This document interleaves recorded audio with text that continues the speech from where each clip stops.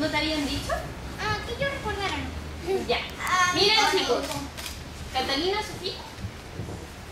Acá está el fósil, ¿no es cierto? Y está sobre como